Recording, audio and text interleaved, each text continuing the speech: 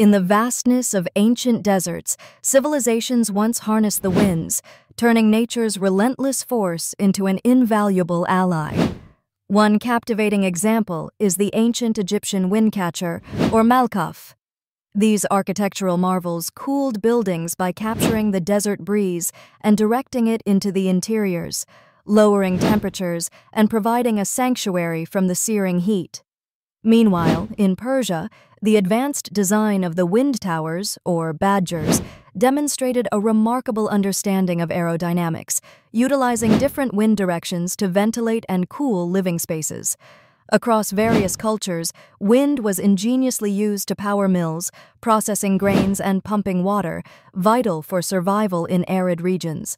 These forgotten technologies not only underscore human ingenuity, but also inspire modern sustainable practices. As we revisit these ancient solutions, they remind us of the untapped potential within nature's forces.